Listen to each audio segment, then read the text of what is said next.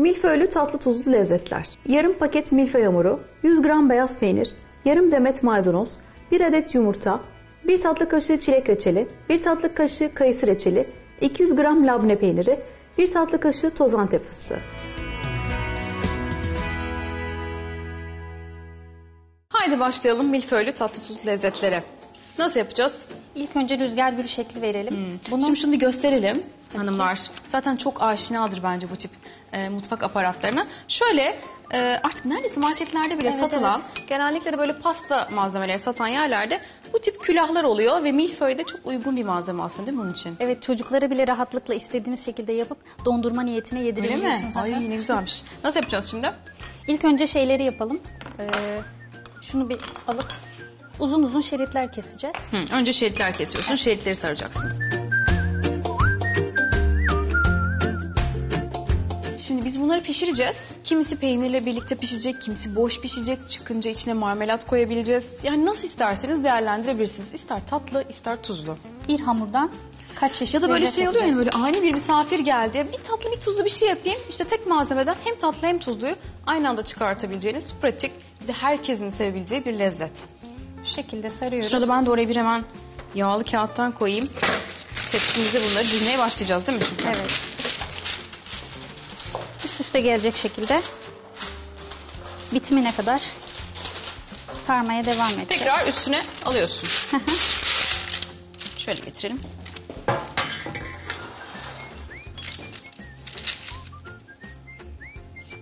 Boşluk bırakmadan üst üste gelecek şekilde yapıyorsun bunu. Evet. İsterseniz e, bunların daha da ince şeyleri var, külahları. Küçük yapmak isteyenler olursa direkt Hmm. Ha, onlardan alıp mini mini. Şu yeterli olacaktır bizim için. Tamam. Bu şekilde. Bu şekilde İçindeki koyuyoruz. e, parçasıyla birlikte bırakıyoruz. Çıkınca zaten böyle pıt diye böyle ayrılacak. Çünkü milföy bir de kendinden yağlı bir hamur. Bu tip şeyler de hiç size sorun çıkarmaz.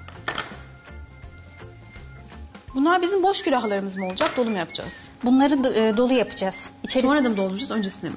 yok. Sonrasında dolduracağız. bunlar Kendisi sonra. piştikten sonra. Ben bunu boş bile yerim. Doğrudur. Çok lezzetli böyle oluyor. şeyle, e, sürmelik çikolatayla şöyle oh mis gibi. Bütün çubukları dolduracağız. Ondan sonra başka bir şekil daha çıkartacağız. Bu arada eşin nasıl tanıştın? Eşimle biz e, karşılıklı köylerimiz çok yakın birbirine. Kayseri'de. Evet Kayseri'de. E, benim eniştem de eşimin köyünden. O şekilde Köylüm ben- yani değil mi? Köylüm. Oraya gidip gele e, eşim şey yapmış, görmüş beni. O şekilde tanışma faslımız oldu bizim. Beğendik birbirimizi. Biraz şey olayımız oldu. Ne olayımız oldu? ne oldu ya? Söyle söyle. Hadi söyle ne oldu? Tanışma faslı. Nasıl oldu o Biraz tanışma birbirimizi faslı? tanıma faslı oldu. Sonra da Orada bir güldü. Orada bir şey olmuş. Uzun mu sürdü o tanışma faslı? Kısa mı sürdü? sürdü. Sürdü. Çünkü o beni tanıyor, ben Uzun onu ya da tanım- kısa değil sürdü. Ben onu anladım ama uzun O sürmüş. beni tanıyor ama ben onu tanımıyordum. Ha, senin biraz tanıma faslın uzun sürdü galiba.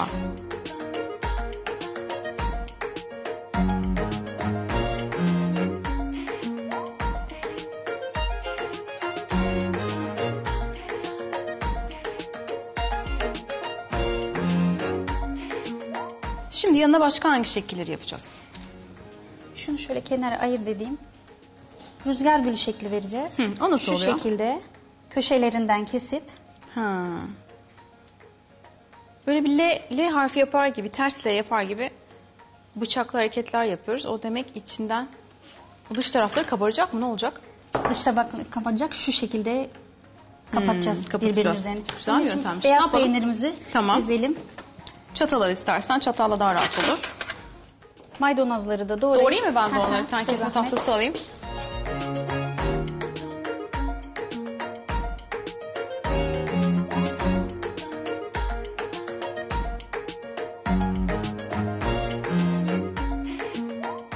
Rüzgar gülü gibi bir değil mi? Bunu Neydi? ortaya alıp Şekil. rüzgar gülü Tamam. şu şekilde vereceğiz. Şunu şöyle kapatıyoruz. Hı hı. Çabuk zaten hemen Şunu yumuşuyor. kapatıyoruz. Orayı da kapatıyorsun. Burayı da Hmm. kapatıyoruz. Ay çok güzel oldu. şekilde. Hemen göstereyim. Bakın şahane bir şekil. Çok sevimli. Çiçek Şekiller gibi. bitmez. Bir de çok pratik oldu değil mi? Evet. Yani sonuçta bildiğimiz bir malzeme çok farklı bir şekilde kullandık. Bunu böyle ekliyorum. Bu şekilde yapacağız. Başka boş yapacak mısın gene? Yapacağım. Yine peynir şekilden birkaç tane daha yapayım Tamam. isterseniz. İki tane daha yapalım peynirli. Tamam.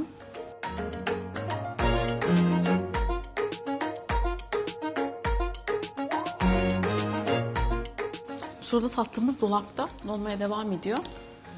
İyicene donsun ki değil mi? Bizi mahcup etmesin ters döndürdüğümüzde.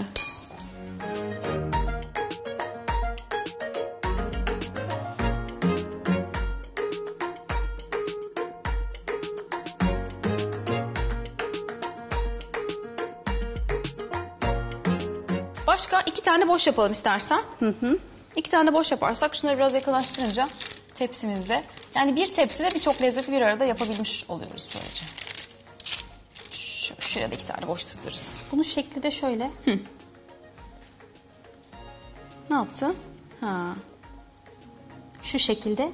Birbirlerine uçlarını birleştirmeyeceğiz. Neden? O zaman e, kap şekli verilmiyor. Ha, Buradan anladım. akar yaptığımız, koyduğumuz şey. Şöyle size zahmet yumurta akını Hı, ne yapayım? fırçayla, şu Fırçayla. kenarlarına sürelim. Şuralarına mı? Hepsine mi?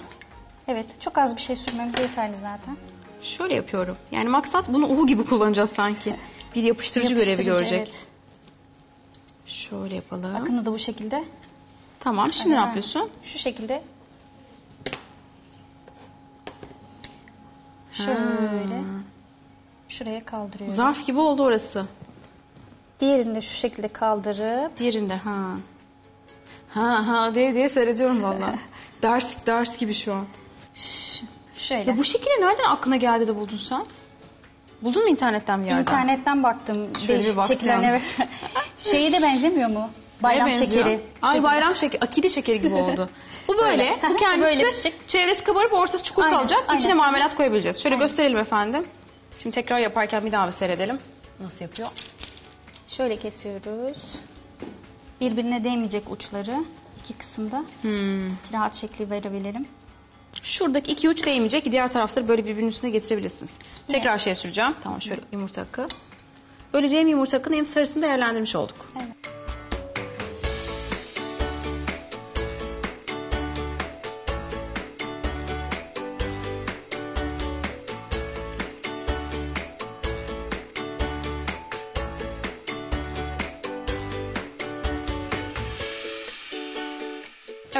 Gönderelim mi fırına? Kaç dakikada pişiyor? 15 dakikada pişer herhalde değil mi? Pişer. Aynen. Hemen. Şöyle açalım. Orta gözümüze.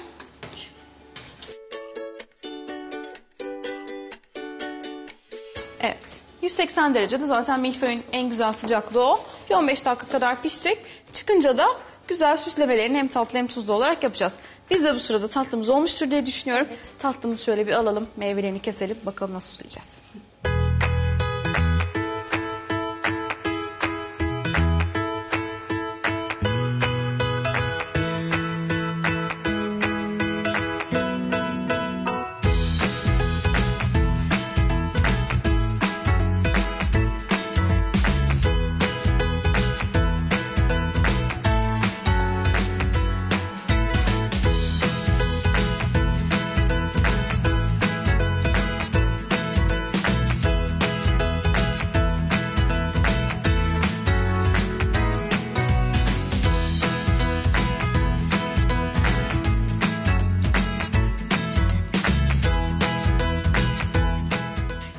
Bakalım nasıl yaptık, içine neleri nasıl ekledik.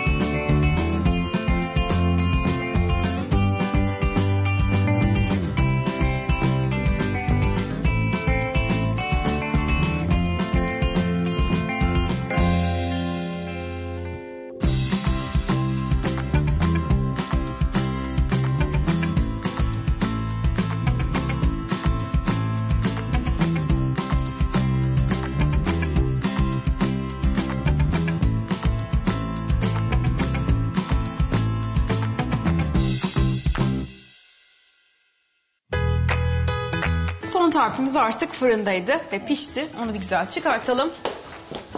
Şöyle alabilecek misin? Biraz daha üste koyduk en son pişsin diye. Evet gayet de güzel kızarmış. Ne kadar güzel kabardı değil mi? Evet.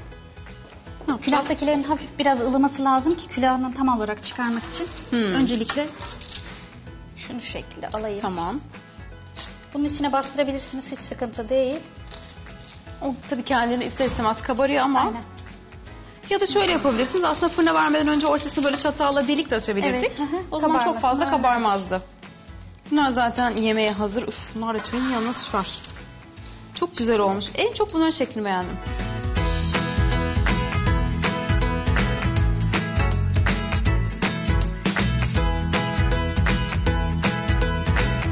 Biz çilek reçeli koyuyoruz ama her şey konulabilir. Bir de değişik bir Taşma da olmuyor tabii böyle içinde bir çukur gibi kaldığı için. tabak şeklini aldığı için Hem tatlı hem tuzlu aynı tabakta, aynı fırında pişti. Aynı tabakta da servis tek bir edebilirsiniz. hamurdan. Tek bir hamurdan, az malzemeden güzel oldu.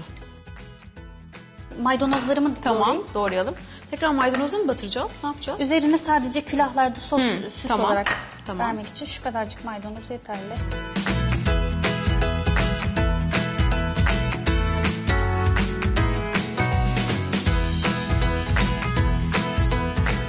Külahlardan şöyle devam edelim. Hafif zaten oynayınca- Döndürünce çıkıyor. Aha, Aynen. İşte çıkıyor. Ne koyacaksın şimdi onun için mesela? Labne peyniri Bir, bir koyacağım. tane o zaman kaşık vereyim, temiz kaşık. Hepsine peynir mi koyacaksın? Evet. Külah gibi olduğu için birazcık içine doğru da koyabiliriz zaten. Bunu da çıkartalım. Bunu şırıngayla da rahat sıkabilirler.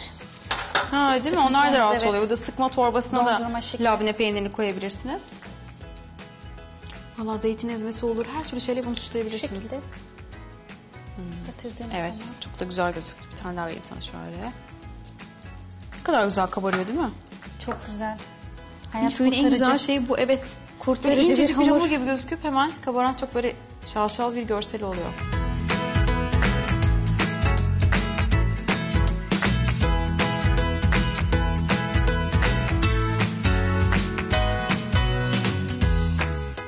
Reçelleri şeyle süsleyeceğim. Fıstıkla. Koyayım üstüne? Olur. Şöyle birazcık üstüne koyabiliriz. Şöyle yapalım. Her şeyde bir yeşil dokunduruyoruz. Güzel duruyor tabii. Yeşilin harika bir huzur verici şeyi de var. Değil mi?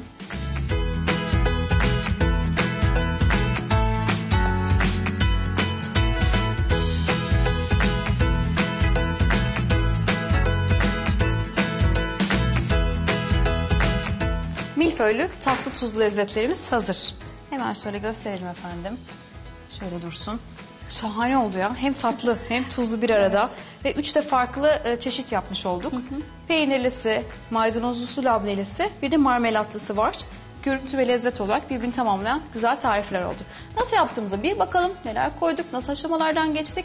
Sonra bütün yemeklerimizi bir araya alıp hatırlayacağız neler yapmışız.